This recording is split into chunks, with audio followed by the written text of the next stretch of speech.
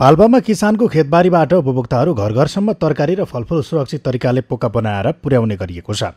बाहिरी जिल्लाबाट तरकारी र फलफुल ल्याउन कडाइ गरेसँगै सामाजिक सञ्जालबाट प्रचार प्रसार गरी तरकारी बिक्री गरिएको छ। नियमित घरमै ताजा तरकारी तथा फलफुल किन्न पाउने कार्य सराहनीय भएको र यसको निरन्तरता आवश्यक रहेको उपभोक्ताहरूको भनाइ छ।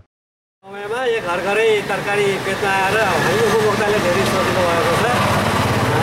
पहिला दोकानमा जाँदाखेरि मोनोपोली बजार थियो। अहिले कृषि सहकारीहरूले यसरी उपभोक्तालाई ध्यानमा राखेर घर घर ल्याइदिएको हुँदाखेरि मूल्यमा पनि एकदम कमी आएको छ। हिजो यही टमाटर एक सय बिसमा पनि खाइयो भने अहिले सय रुपियाँको तिन किलो छ।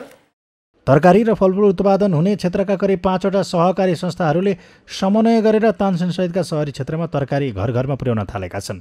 विगतमा अधिकांश तरकारी बाहिरी जिल्लाबाट भित्रने गरेको थियो। बाहिरको भन्दा जिल्लामा उत्पादित तरकारीमा विषादी कम प्रयोग गरिएको सहकारीहरूको दाबी छ।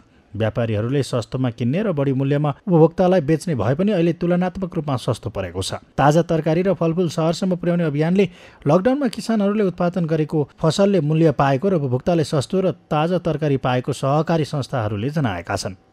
उपभोक्तालाई घर घरमा तरकारी उपलब्ध गराउँदै आएका छौँ।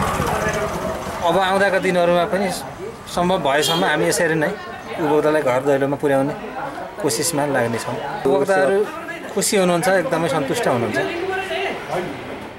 सहकारी संस्थाहरूले तरकारी बिक्री गर्न थालेपछि बिचौलियाबाट किसान र उपभोक्ताहरू ठगिनबाट जोगिएका छन्। सगरमाथा टेलिभिजनका लागि पाल्पाबाट किरण कौशलको रिपोर्ट।